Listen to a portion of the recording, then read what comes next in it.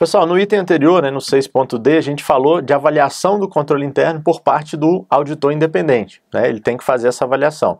Já que ele fez essa avaliação, pessoal, tem uma norma, né, a NBCTA 2, opa, 265, tá? 265, que ela fala o quê? Da responsabilidade do auditor independente em comunicar essas deficiências encontradas nesse processo de avaliação.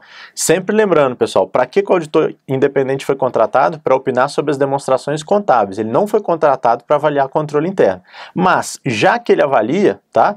A, no, a, essa norma 265 prevê como é que vai se dar essa comunicação das deficiências, né, caso ele entenda é, é, como relevante. Então, a norma fala de deficiência significativa de controle interno, vai ser aquela é, que no julgamento profissional do auditor é de importância suficiente para merecer uma atenção dos responsáveis pela governança, então daquele órgão supervisor daquela empresa auditada, tá?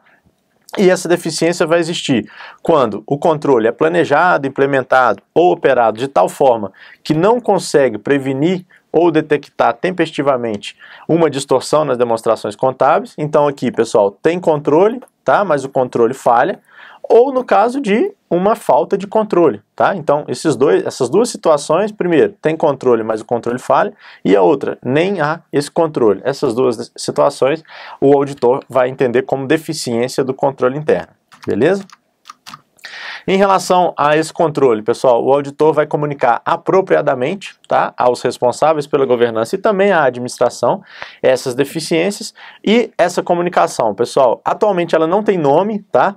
É, a norma só fala comunicação por escrito, antes era chamada, né, na norma anterior, de relatório comentário, tá? Relatório comentário. Então, se por acaso vier comentário, se por acaso vier na, na na, em alguma questão, relatório comentário, vocês sabem que essa comunicação é, do auditor independente em relação às deficiências de controle interno. E ele vai comunicar o quê? Vai fazer o quê? Né? É, vai descrever essas deficiências e explicar os possíveis efeitos, né, o que, que pode acontecer é, a partir dessa deficiência de controle interno e vai comunicar, é, vai contextualizar né, isso para os responsáveis pela governança e para a administração.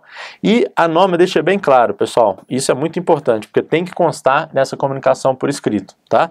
Que o auditor vai ter que explicar o seguinte, ó, primeiro, que o objetivo dele era de expressar uma opinião, era e é, né, de expressar uma opinião sobre as demonstrações contábeis.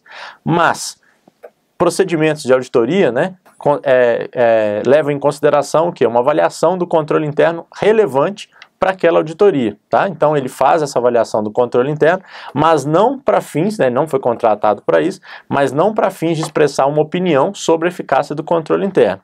E aquela comunicação, né, está é, limitado, limitada, essa comunicação está limitada às deficiências que ele identificou durante aquela auditoria e que ele entende que são significativas. Então isso não quer dizer, pessoal, que ele avaliou todos os controles internos da empresa e se, se ele não falou determinado, sobre determinado, determinada deficiência de controle interno, então é porque a área está tá ok. Não é isso, tá? É em relação aos testes que ele aplicou nos controles internos relacionados às demonstrações contábeis, ele identificou algumas deficiências e aí eh, são essas deficiências significativas que ele vai comunicar para aos responsáveis pela governança. Beleza? Então aqui a gente encerra esse tópico bem tranquilo, tá? Mas que tem sido cobrado cada vez mais, pessoal, essa NBCTA 265, tá? Basicamente o que, o que tem sido cobrado é o que a gente explicou aqui, ok? Então até o último item que a gente vai falar de COSO.